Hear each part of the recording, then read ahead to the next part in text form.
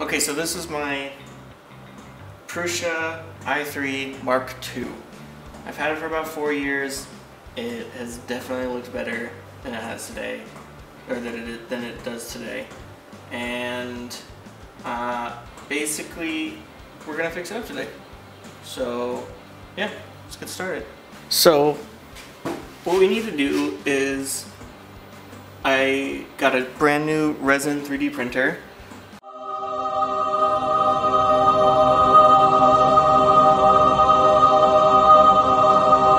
So I printed a bunch of uh, all these orange components on the X carriage. Uh, I 3D printed those so that we can replace them with some resin parts because this plastic is original, uh, except for the the Z-axis guides uh, on the top. But all the things here are original. Um, I think the only thing that I've replaced on this is the thermistor in there. So I got a new Pinda probe because this one is on its last leg and I don't think it's working quite right and I've had to modify it a bunch to get it to work with the plate that I have now. Um, and it got caught in the nozzle a few weeks ago and got all gnarled up like that. So we're gonna replace that, but if you can see behind there, maybe not, there's a bunch of glue holding this little bracket on. So the one that I printed now has uh, a little a helper arm to help support to help support this little piece here to keep this level at all times.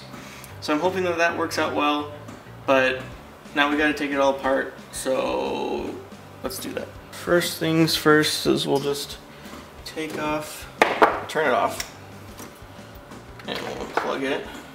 We're gonna take off our spool, and then we can start cutting all of these zip ties away. Gotta get just the whole carriage off. Um,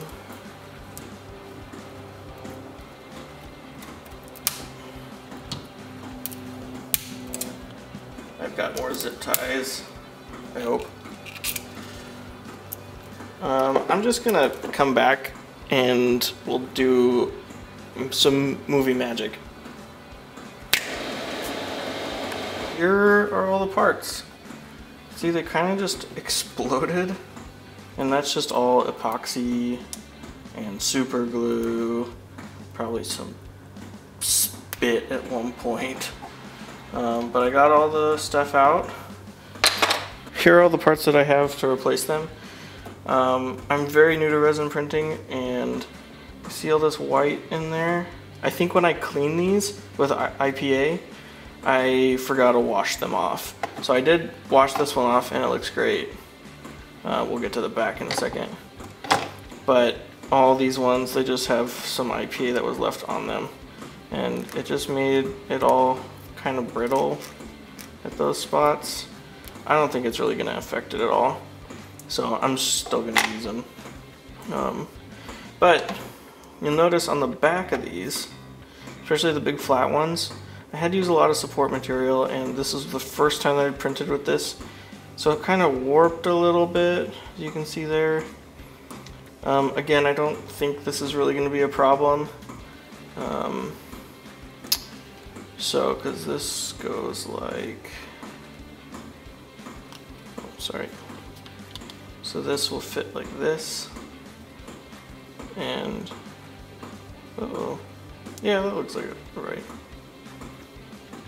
If it's not right, we'll, we'll fix it. So that, and then some of the holes didn't, uh, they cured resin over the top of them. So, um, since these, and I just realized that I forgot to print this piece.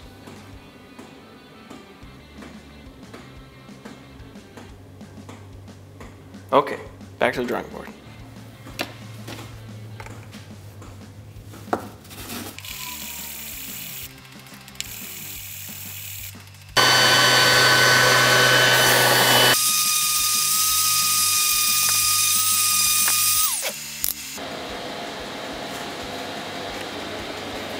Okay, so I sanded the backs of them.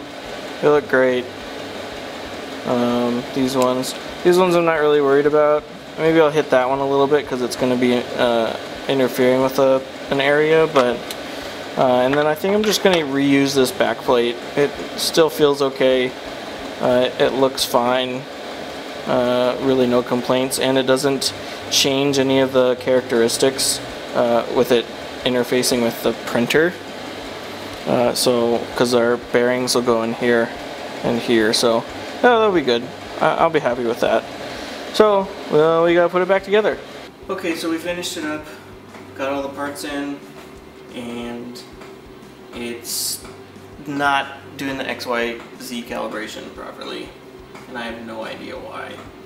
Um, I even replaced the sensor, uh, the Pinda probe right there, with a new one.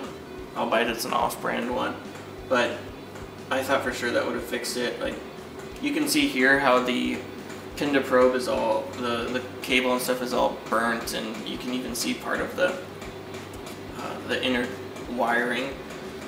So I replaced it with this one, and I had to change the cable or the plug over. Uh, you can see like it looks great.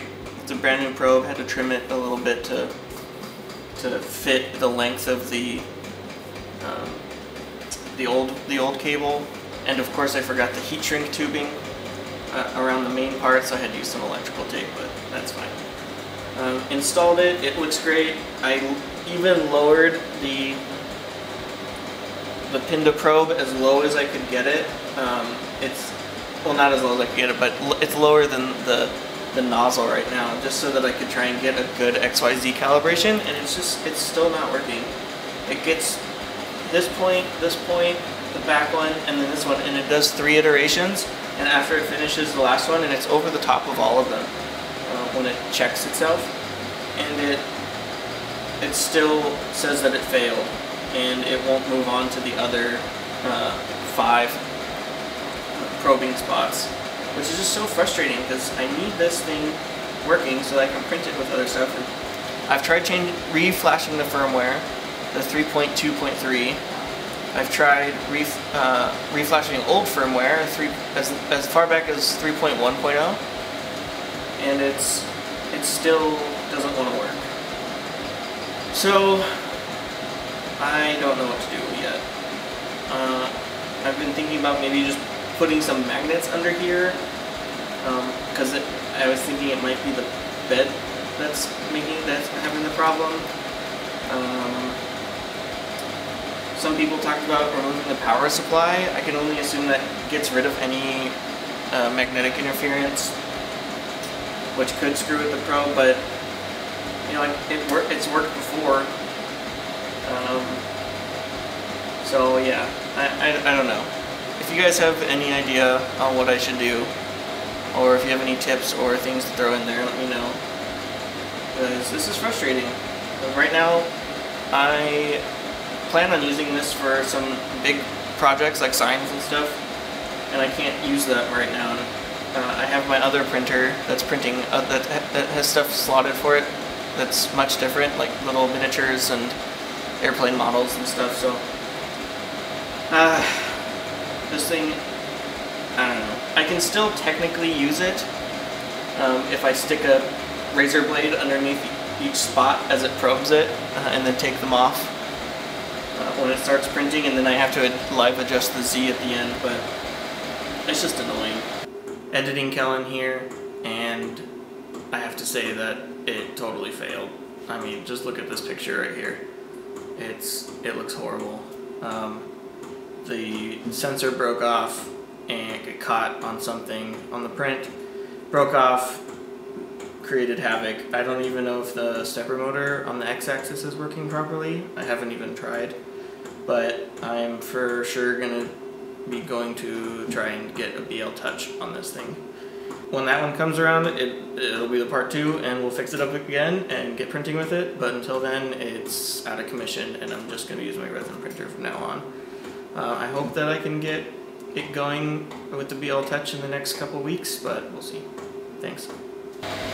So I think maybe in the meantime that's what I'll have to do uh, until I can hear back from you guys or find something online or just buy a new printer because this thing is almost five years old and I think I need an upgrade, but we shall see. Alright, uh, that's it for this one. I will see you guys in the next video. Thanks for watching. Bye.